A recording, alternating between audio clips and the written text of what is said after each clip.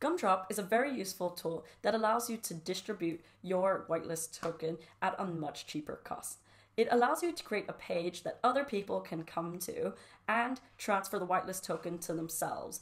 They will fund the associated token account and pay gas so that you don't need to, which means all you need to do is create the token account and mint the supply and create Gumdrop, and the rest is paid by the people transferring the whitelist token to themselves, which saves you a lot of money. So Gumdrop is extremely helpful. It's a good, cheap distribution method. Let me show you how it works. So the first thing we want to do is install Gumdrop. Head over to Gumdrop's GitHub page and let's install it. We can run git clone to install Gumdrop in our projects directory.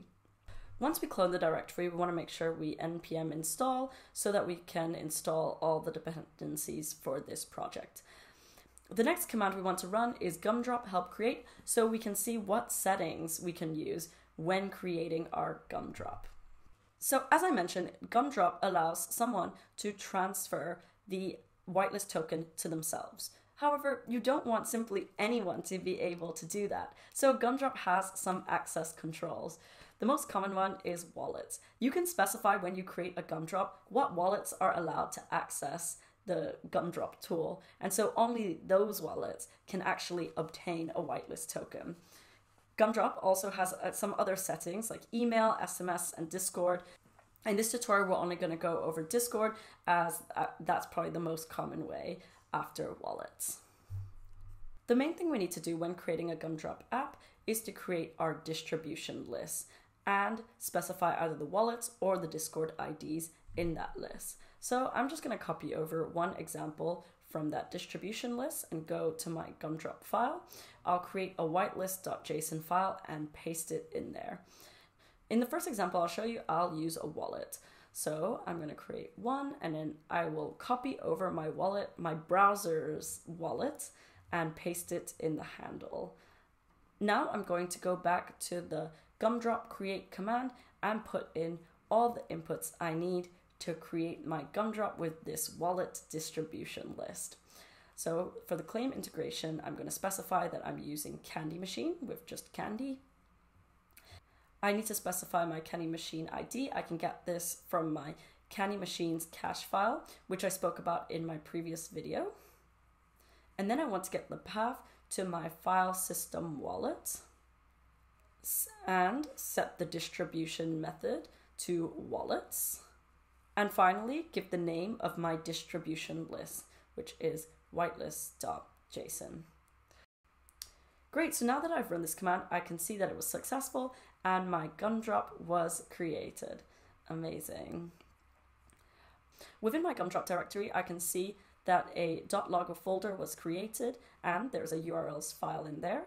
I can copy that and this is a unique URL that allows me to access the gumdrop for that wallet that I specified. This is a unique URL for that browser wallet that I put in the distribution list. So over here, if once I see the app, I can see that the handle matches the wallet's uh, address of my browser wallet, which means only my browser wallet can obtain a whitelist from this gumdrop tool. Just to prove this to you, let me quickly select my other wallet that I did not include in the distribution list, and you can see that there is no way to claim the gumdrop. Awesome. And now let's go back to our browser wallet that was included in the distribution list, and I can now see that claim gumdrop is available. If I head back to the wallet in the distribution list, I can now see that I can successfully claim a gumdrop. And in the Phantom extension, you, you can now see the transaction and it shows that I will be obtaining one whitelist token. The browser wallet is the one that is paying the gas and paying to fund the associated token account in order to hold this whitelist token. And the NFT collection creator is not having to do that. Hence why you save a lot of money using Gumdrop. Amazing. In order to do this on scale, what you can do is find all the wallets and create a much larger distribution list. This will create unique URLs for each of those wallets, which you can hand out to the wallet owners so that they can claim a whitelist token via Gumdrop. Let me show you how to do this on Discord because Discord is used so much in Web3 and I think Gumdrop's Discord integration is quite nice. In order to do this, we need to create a Discord bot. This, this is how we distribute our unique Gumdrop links to people so that they can obtain a whitelist token. Let's create a bot. Let's give it a name. And then let's add a bot to the app and reset the token. We want to make sure we save this token because we will need it later when we create the gumdrop. So I'm going to save that to my little notes. Finally, for now, I'll just give it administrative purposes. And then what I can do is give my Discord bot access to my Discord server. I can generate a URL and authorize it, and we can see that the Discord bot appeared in the server. Great. Okay, in order to create Gumdrop for Discord, we need to obtain the Discord IDs instead of the wallet. So I'm going to copy over my Discord ID and insert it in that whitelist.json file. Now I will go back to the gumdrop create command and change the distribution method to Discord instead of wallets. The distribution list remains the same because I updated that list.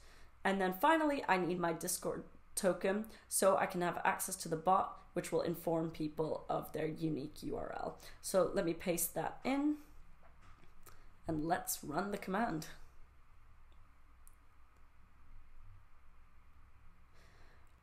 Amazing, so you'll see similar things printed as before, but more importantly, let's go over to Discord and check our DMs. I can now see that the whitelist bot DM'd me and gave me a special link to Gumdrop.